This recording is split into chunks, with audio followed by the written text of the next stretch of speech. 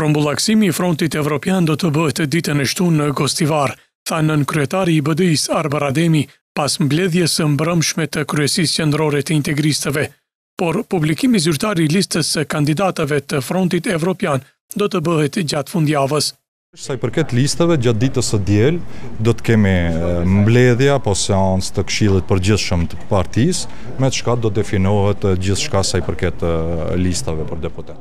Por Klan Maqedoni ka siguruar listën e kandidatëve për deputet që do të garojnë në zgjedhjet e tetë majit.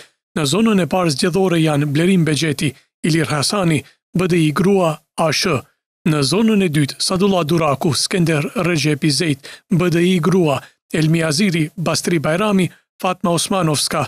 Në zonën e tretë, Sulejman Baki, BDI, TDP dhe TDP. Në të katërtën, TDP-ja. Në zonën e pestë, Ziadin Sela, Musa Xhaferi, Arbana Pasholli, Ismail Jahoski, TDP, BDI dhe ASH.